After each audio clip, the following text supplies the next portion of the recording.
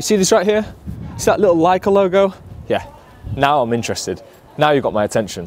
But don't worry, I'm not one of those photographers. I'm not a Leica fanboy and I don't just use anything with a Leica logo on it. This is a serious review.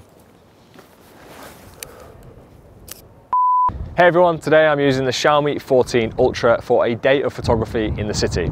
Now this video won't be a in-depth review analysis of the spec sheet. I'll leave that to the professional tech YouTubers. I'm just interested in the camera because this is co-engineered with Leica and that genuinely is quite interesting. So let's go take some photos, see what it's like to use. What is the experience of using this camera? How does it feel? How easy is it? How convenient is it? And obviously what do the photos look like in the end? And uh, most importantly, let's have some fun.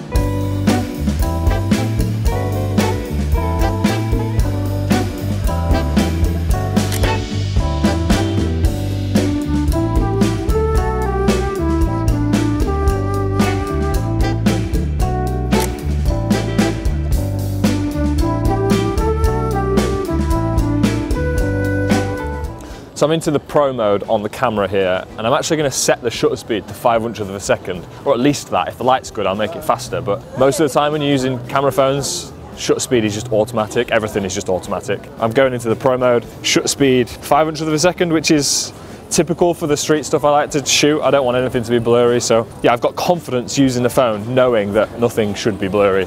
So that's a, that's a nice to have for sure.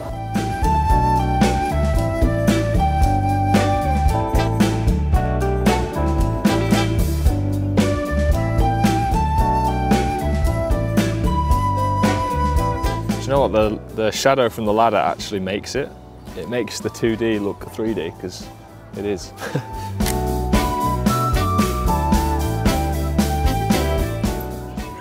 Shooting in like an authentic color profile, I can switch between like a vibrant and like a authentic, but I think the authentic one looks kind of cool, like straight out of camera. I'm not sure how much editing I'm going to be doing with these images. I think they look pretty cool as they are. I think the phone's doing a good job. Yeah, so it's actually quite impressive how it's tracking the graffiti, then it tracks the subject. Even when I switch between focal lengths, the autofocus is like on point. It kind of knows exactly what to focus on, when to focus on it. It's uh, quite impressive actually.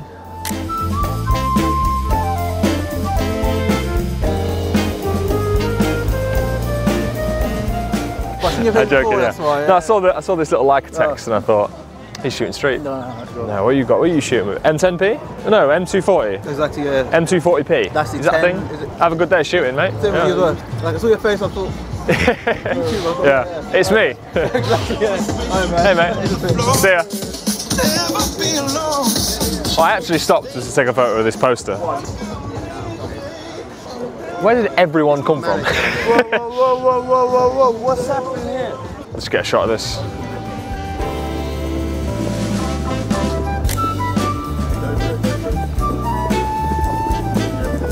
I've seen a load of green garbage bins and a red garbage bin. And I'm not saying this is going to be a good photograph, but my eye spotted it. I saw the colours. I'm just going to sketch it. And I use the word sketching because I did a workshop with Matt Stuart last year, and he mentioned how he uses his camera phone to line up possible compositions or at least play around with stuff he's seen.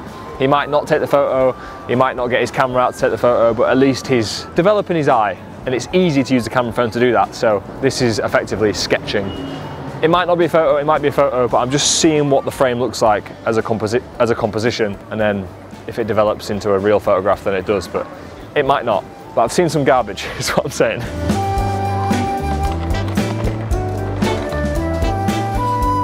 I love how everyone's like, what is he doing? Pointing his phone camera at bins. But I've seen a red bin, red garbage, green bins, green posters, red posters.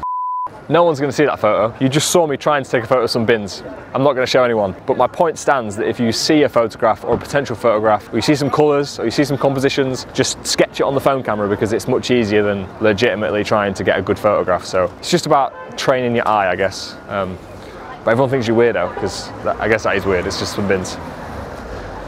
So no, this just works nicely. I don't really know what it is, but the woman on her phone in green, the painting or the photograph on the floor. It's a nice composition. That right there is sketching, but this one was a bit more successful. I didn't know if it would be a photograph, I was just kind of playing with it, seeing what the composition would look like. Thanks Matt Stuart, I'm going to start using the word sketching a lot more, but that looks cool. All right, should we get some lunch?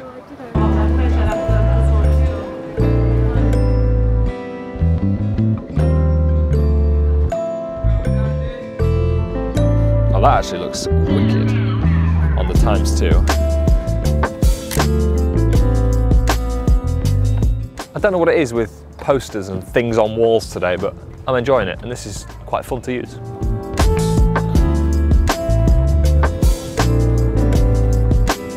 I love that.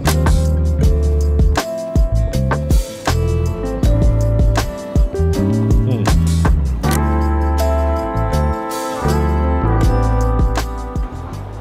Well, there's no point getting a coffee and not taking a photo with your Leica.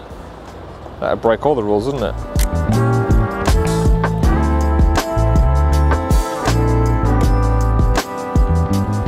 Good. Something I was interested in testing was the Xiaomi 14 Ultra photography kit. Now, this kit is essentially an extra case which you can also attach a grip to. And on that grip, you've got more power, but also a couple of extra buttons like a shutter button. This really changes the phone into more of a point and shoot, and the whole ergonomics of using the device changes. So, for this next section of the video, I was interested to go to more of a busier section of London, walk down Oxford Street, and treat this phone like I would a regular camera if I was trying to do more run and gun street photography. So, let's see how that goes. So we're at a thousandth of a second auto aperture, auto ISO on the main wide lens, which is the 23mm. Oh, it does feel like a point and shoot with the grip. feels like I'm not using a phone. It feels like I'm, I don't know, it feels different. It feels cool.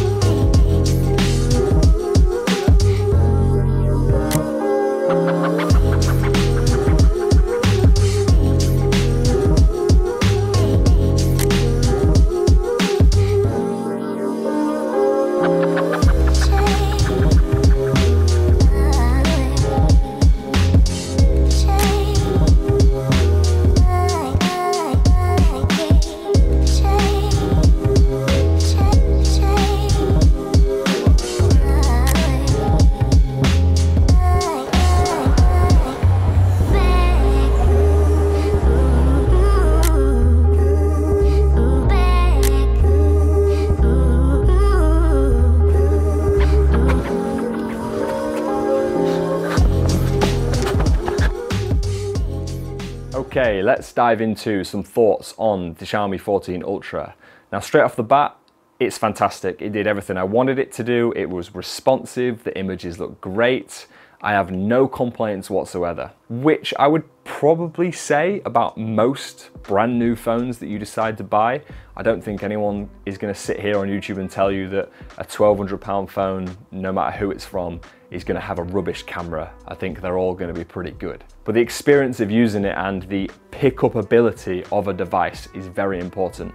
And by pickup ability, I mean, do you actually want to use it to go take photos? Now, whether that's a dedicated camera or just the camera that's in your pocket, I think having fun with it is the most important nowadays. First point here, if you're a new photographer or you're interested in taking photos and you don't have a camera yet, but you do have a phone like this or you're interested in getting a phone like this, it's weird for me to say this, but as a photographer, if you're not willing to spend more than the price of this phone, then I would just buy the phone and use the phone for your photography. Which does lead me on to the reasons for that being that in this camera app, there is the pro mode, which allows you to change the aperture, which allows you to change the shutter speed and the white balance. All of that is fantastic practice for photographers interested in developing their skills and knowledge base to then spend a bit more money later down the line and buy a camera. Even if you didn't buy a camera, being able to fully customize your settings and tweak the settings to your preference to take photos is excellent. And coming from a professional photographer this phone was really easy, really straightforward and really fun to use throughout the day. Something I did enjoy using this camera was the Leica profiles. So the Leica Authentic and Leica Vibrant color profiles you can choose from when you're shooting. A lot of mobile phones, in my opinion, look overly sharp and a little bit clinical. So it was nice to see some profiles that provide a little bit of character and a subtle look to your images. I very much liked the Leica Authentic look and most of the images in this video were shot straight out of camera with that profile, and a few of them were also shot with the Leica Vibrant. So I think that's a nice touch. Let's quickly touch on the photography kit. Now this is an extra that you have to pay for, but this was a lot of fun. Having this grip on the phone when I was doing the more running gun style street photography, just shooting here, there and everywhere, finding little moments like I would do with street photography, holding this and having a shutter button didn't feel like I was using a phone. And it felt like a point and shoot. It felt like it was easy to catch moments. It was quick, responsive, the shutter button feels good to press. And if I'm being totally honest, I thought using this with a phone, you know, you might as well just use the phone as it is. I didn't think there'd be much difference, but yeah, I kind of forgot I was holding a phone at one point and I was just walking down Oxford Street in London, just, yeah, shooting away. And I was actually really impressed with this. This is a good touch. And also there's a battery in here as well. So using the cameras all day for photography, the, the, battery will drain much quicker, that's an obvious. But if this is charged as well, then you get a little boost when using the grip. And then it was also very useful or easy to just take this off and put it back in my bag and then carry on using the phone like a normal phone. So again, that was quite nice. At the beginning of this video, I did poke some fun into the Leica logo. But on a more serious note, what does it mean for this Xiaomi 14 Ultra? Interestingly, the phone camera actually uses Summilux lenses, meaning you're getting some of the best hardware possible inside such a small camera system. But this also means you're getting more of the Leica experience with a similar UI, the same Leica shutter sound, and also co-engineering in color tuning. Like I mentioned, the Leica Authentic and Leica Vibrant profiles look great. I can really see and feel how Leica have left their mark on this device. And from a photographer's perspective, I can easily recommend this phone to anyone that wants a mobile phone that also takes excellent images. Now, I would always recommend people buy a camera if they want to take it a bit more seriously and they are interested in taking their photography to a new level. But up until then, using a camera phone like this is a smart idea.